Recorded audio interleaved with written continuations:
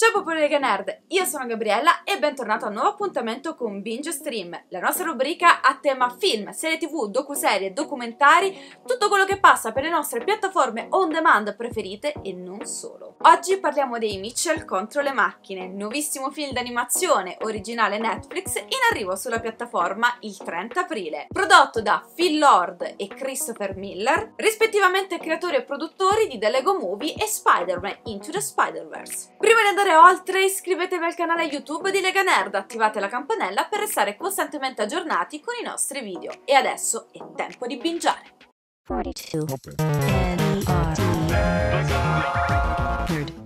Sicuramente fin dal trailer il film I Mitchell contro le macchine mi avevano dato delle sensazioni più che positive, ma adesso che l'ho visto posso solo dirvi una cosa, l'adorerete. Se avete amato la commissione di genere di animazione di Into the Spider-Verse, se siete dei fan delle apocalisse robot, se odiate i furbi e avete un super occhio per le citazioni cinematografiche, allora questo è il vostro film. Diretto da Mike Rianda e Jeff Root, i Mitchell contro le macchine ha come protagonista appunto la famiglia Mitchell, una famiglia americana completamente atipica, molto diversa dalla classica famiglia Mulino Bianco. Sono goffi, sono eccentrici, non sono coordinati, sono incredibilmente imperfetti, ma proprio per questo li amerete. Il tutto viene raccontato dalla figlia più grande, Katie, aspirante ed eccentrica videomaker, che finalmente può realizzare il suo sogno più grande, andare alla scuola di cinema. Entrare a contatto con la gente che condivide il suo sogno, potersi migliorare come videomaker e soprattutto sentirsi per la prima volta a suo agio e non più un'estranea, un alieno in mezzo a tanti. Quanto ti capisco, Katie, visto che questa sarà l'ultima possibilità per i Mitchell per stare tutti insieme, quindi fare un bel viaggio di famiglia, perché non accompagnare Katie al college?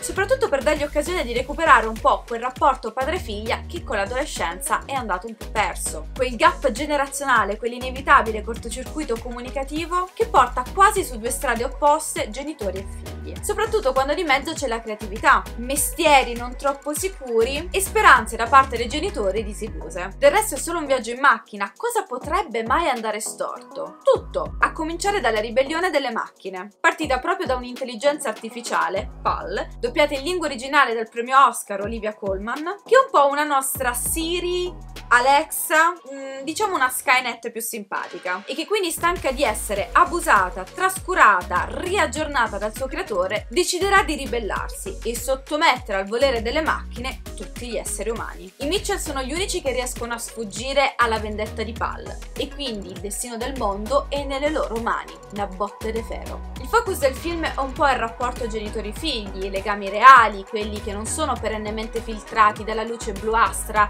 che abbiamo costantemente del cellulare o dello schermo televisivo, dello schermo del computer, ma anche dell'abuso che facciamo della tecnologia senza però per questo demonizzarla. Il tutto è perfettamente inglobato in un mood fantascientifico e che gioca tantissimo con la sperimentazione del linguaggio animato, passando dal 2D al 3D, con tantissime citazioni cinematografiche e la voglia di divertire e mettersi in gioco. È sicuramente un film molto molto pop, dove la tecnica tende ad esplorare il genere, le grandi potenzialità che ha effettivamente l'animazione e che abbiamo visto in azione con Into the Spider-Verse. Film che è stato una vera e propria rivoluzione da questo punto di vista, ma che nessuno ha colto nel modo giusto. I Mitchell contro le macchine da questo punto di vista sperimentano, usano un sacco di gag visive e sceniche molto molto particolari. La messa in scena è sicuramente il punto forte di questo film che invece si poggia su una trama molto lineare. Non per questo però le due cose si offuscano a vicenda, anzi sono perfettamente in armonia. Si passa da uno stile più digitale ad uno molto più fumettoso, inserendo appunto degli inserti in 2D, contrapposti magari a grande animazione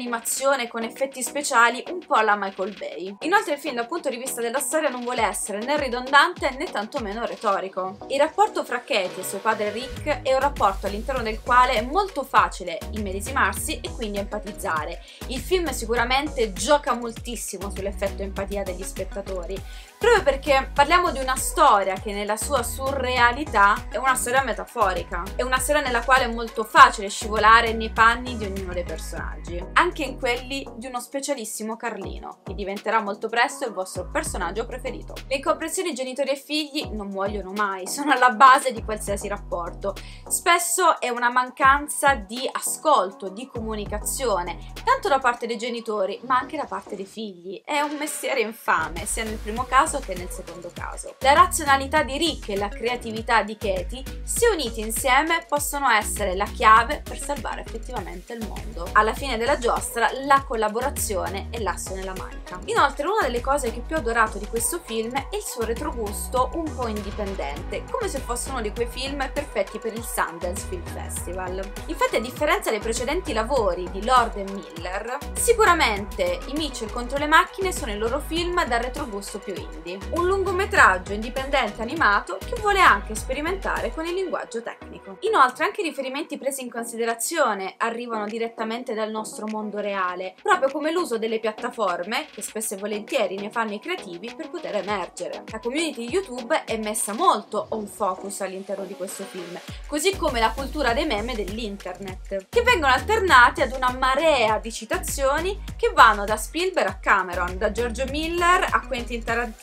passando addirittura per Edgar Wright e Sofia Coppola. Come stavo dicendo prima, la linearità della storia si sposa perfettamente con una messa in scena più coraggiosa e ribelle. In poco meno di due ore questo film d'animazione riuscirà a regalarvi una vera e propria giostra di emozioni, passando dal divertimento alla tensione, dall'adrenalina alla commozione un po' d'occhietto lucido non mancherà. L'animazione è molto audace, il design delle macchine ricorda un po' quello di Eve all'interno di Wall-E ed è interessante come tutto questo venga completamente contrapposto a un design molto più cartunesco invece riservato proprio a Mitchell. C'è una piena padronanza del mezzo e soprattutto della narrazione che passa attraverso le immagini che sanno sia far divertire ma al tempo stesso anche emozionare. Forse non sarà il film d'animazione della vita, ma i Mitchell contro le macchine sono un mix di divertimento, anima e creatività, mostrandosi anche come una perfetta metafora sul crescere, sul non smettere mai di sognare, ma anche di non dimenticarci quali sono le nostre radici. E che spesso i migliori compagni di viaggio sono proprio quelli che hanno affrontato questo viaggio fin dall'inizio con noi, le persone con le quali siamo cresciute, con le quali abbiamo un legame indissolubile, ma a cui non abbiamo mai fatto caso. Dal 30 aprile su Netflix vi posso assicurare che Mitchell contro le macchine saranno la vera sorpresa del weekend. Voi aspettavate questo film? Lo conoscevate? L'avete già visto? Fatemi sapere tutto quanto nei commenti qui sotto. Io vi aspetto lì. Io vi ringrazio per avermi seguito anche in questo video. Vi ricordo di continuare a seguire Lega Nerd ovviamente qui su YouTube, sul canale Twitch